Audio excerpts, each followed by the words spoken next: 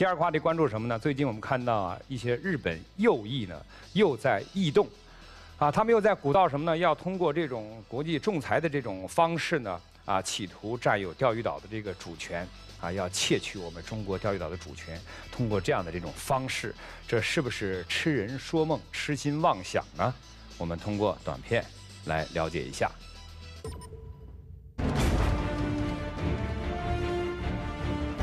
日谋占钓岛再出新花招。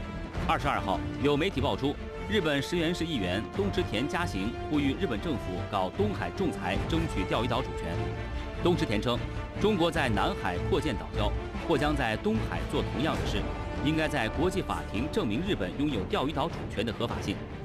除了舆论喧嚣，日本文部科学省近日公布中小学学习指导要领修正案。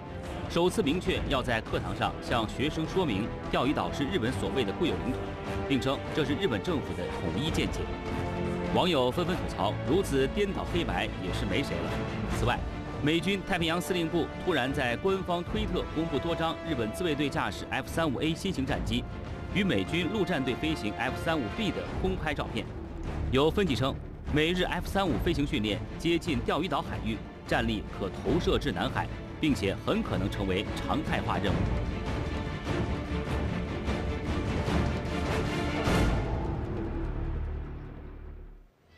日本又在想入非非了。那么，我们看看今天观众朋友们对于这样的一个话题都有哪些问题？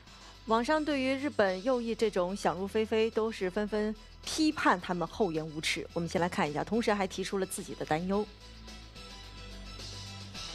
高山流水问：日本真会厚颜无耻的把我们的固有领土主权闹上国际法庭吗？那搞所谓的仲裁一定有利于日本吗？我们该怎么应对呢？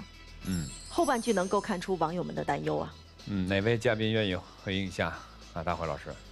呃，我们知道菲律宾呢，呃，搞了一个南海仲裁，那个背后的支持者就是日本，仲裁费啊，仲裁费三千万美元就是由日本财团支持的，而且。呃，那个仲裁庭的庭长也是日本人，但是我们知道南海仲裁案其实给我们加分了啊！世界上六七十个国家啊反对这种啊南将南海提交仲裁，呃，目前东海问题是否也有可能提交国际法庭？我认为在目前的形势之下，这种可能性有，但是非常小，因为南海仲裁呃开了一个头，它不成功，国际的舆论啊站在我们这一面。另外呢，你现在提交哪个法庭呢？如果还是像上次的那个法庭，那是闹剧一场啊，成了呃国际的大笑柄。你要呃提交正式的国际法庭啊，那需要双方都同意啊。中国不可能提啊同意提交仲裁，就算是提交了，这个结果是日本一定能够掌控得住的吗？啊，一定是有利于他的吗？我们也看到日本最近。